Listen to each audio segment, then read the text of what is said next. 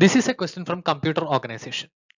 A pipeline P operating at 400 MHz has a speed up factor of 6 and operating at 70% efficiency. How many stages are there in the pipeline? This is a direct question with a direct formula. So the formula is efficiency of k stage pipeline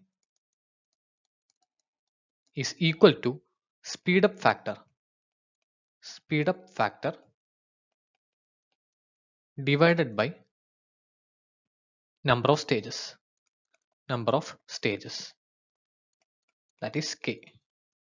Here efficiency is given as 0.7 this is equal to speed up factor is 6 divided by number of stages as k. This is equal to 0.7 k equal to 6 we'll get k equal to 6 by 0.7 which is approximately equal to 9 so number of stages is 9 option d is the right choice